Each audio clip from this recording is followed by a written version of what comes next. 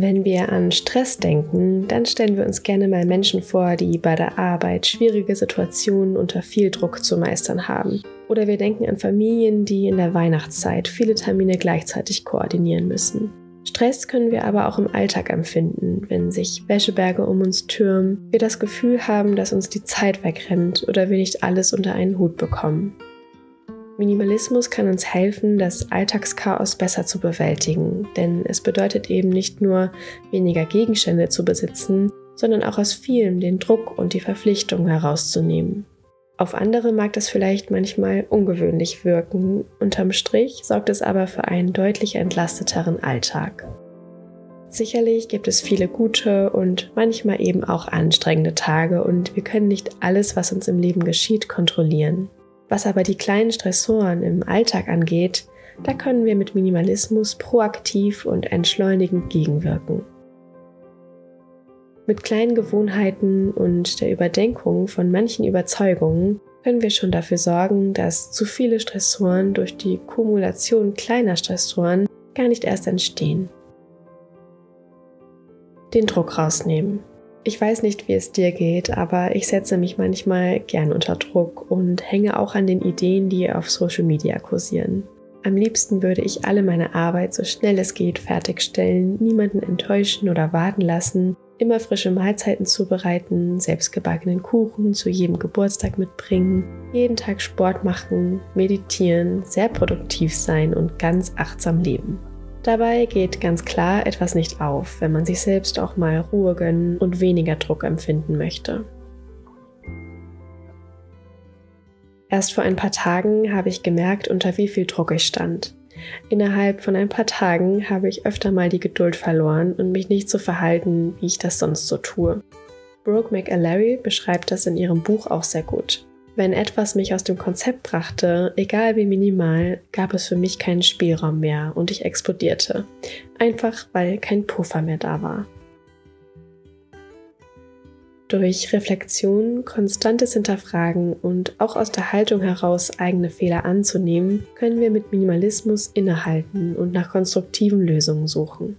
Denn Minimalismus bedeutet auch zu hinterfragen und den Fokus auf das Wesentliche zu lenken. Deshalb priorisiere ich in anspruchsvollen Arbeitsphasen zum Beispiel sehr stark. Alles, was akut gerade nicht bearbeitet werden kann, kann es eben dann einmal nicht. Ich bin jetzt zuletzt zum Beispiel vier Wochen krank gewesen, war unterwegs und unser Launch stand an.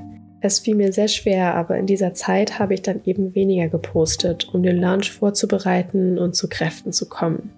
Dafür kann ich mich jetzt nach dem Launch wieder besser darauf konzentrieren und habe auch wieder mehr Energie. Perfektionismus. Wie viele würde auch ich gerne Aufgaben perfekt erledigen oder mein Leben noch optimierter gestalten. Und auf eine bestimmte Weise geht das auch, wenn man sich nämlich auf das wenige beschränkt, was gerade wichtig und wesentlich ist. Minimalismus hat mir gezeigt, dass ich nicht perfekt sein muss und mein Fokus nicht der ist, dass andere Menschen mich dafür schätzen, wie schnell ich E-Mails oder WhatsApps beantworten kann, sondern dass ich in wichtigen Momenten für sie da sein kann und in einem Gespräch voll und ganz bei ihnen bin. Deshalb habe ich für mich beschlossen, dass es okay ist, E-Mails und SMS nach Priorität zu bearbeiten und jeden Tag nur das zu erledigen, was auch für mich zu schaffen ist. Da ich gerade mit meiner Freundin unsere kleine Firma Wabi Rituals gegründet habe, bedeutet das, dass unsere Gründung in meinem Leben gerade eine hohe Priorität hat und auch viel Arbeit in Anspruch nimmt. Deshalb arbeite ich zum Beispiel jetzt daran, wie ich hier Prozesse vereinfachen und auch Arbeit abgeben kann. Ich suche also nach Lösungsmöglichkeiten und neuen Wegen. Mini-Routinen für mehr Achtsamkeit und Ruhe. Achtsamkeit muss nicht unbedingt eine Tätigkeit sein. Manchmal reicht es auch aus, einfach zu sein, wahrzunehmen und zu beobachten. Wir halten zu selten inne und auch der Langeweile mal Raum zu geben, geschieht eigentlich kaum noch. Denn Langeweile oder Langeweilen bedeutet mal Pause zu machen, Ruhe zu fühlen und lässt Raum für neue Ideen und frischen Wind wieder zu.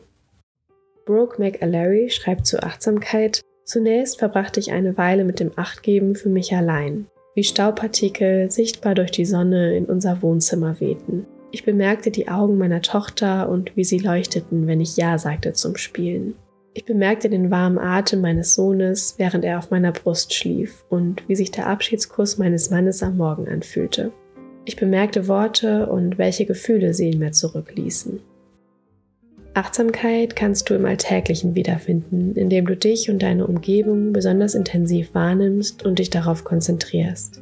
Wir können Ruhe auch erfahren, indem wir uns durch Praktiken und Übungen etwas Gutes tun. Das kann sein, eine Yoga-Klasse oder Sound Meditation in einem Studio zu besuchen, kreativ zu sein, draußen zu sein, den Garten oder Beete zu pflegen, Sport zu machen, Musik zu hören, zu meditieren, zu lesen oder zu puzzeln oder indem du deinen Mitmenschen gegenüber aufmerksam bist und dich auf sie einlässt. Zum Beispiel ist mit Kindern zu spielen aus meiner Erfahrung eine wundervolle Übung, um achtsam zu sein.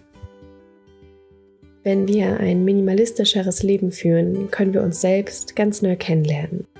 Wenn wir bemerkt haben, dass wir manches nicht möchten, dann können wir das ändern. Wo vorher vielleicht nur ein dumpfes, ermattendes Gefühl war, das können wir jetzt besser benennen und nach Lösungen suchen. Mit Minimalismus als Lebensstil können wir lernen, uns abzugrenzen, zu hinterfragen, uns klarer zu positionieren und auch zu strukturieren. Wann empfindest du Stress und welche Strategien hast du dagegen? Teile es gern mit mir und der Community. Herzlichen Dank fürs Zuschauen und bis bald.